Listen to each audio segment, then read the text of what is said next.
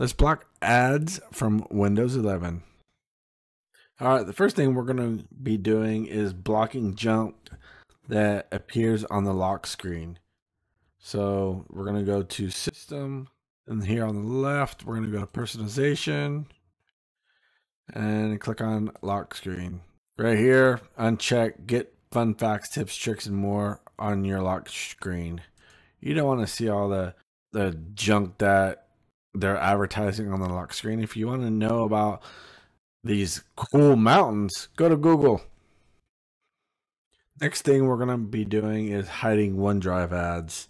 To do this, we're going to open File Explorer. We're going to go to Options, View, scroll down, and right here uncheck Show Sync Provider Notification. Next, we're going to block unwanted notifications. To do that, you go to System, click on Notification, and then under Notification from Apps and Other Senders, you'll, you'll normally have a list of apps that you can turn notification off. Let's stop Microsoft from collecting your data. To do that, you'll go in Settings, click on Privacy and Security, click on General, and we're going to turn all of these off.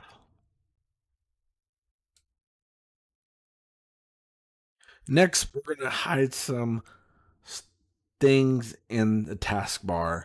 To do that, we're going to go to personalization, click on taskbar. Here, we can turn off Copilot, the task view, and turn off widgets.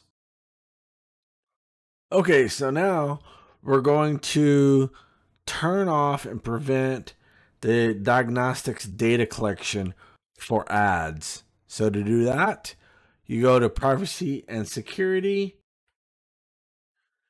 then click on diagnostic and feedback. Send optional diagnostic data, you want to turn that off and under tailored experiences, you're going to turn off, let Microsoft use your diagnostic data. Turn that off.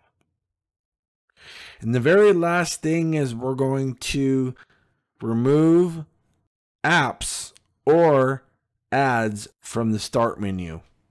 Click on the start menu and you can right click and unpin from start.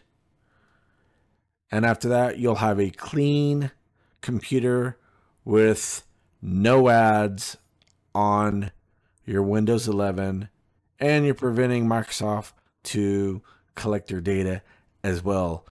If you want more tips and tricks, subscribe, turn that bell notification on, and I'll see you guys in the next episode.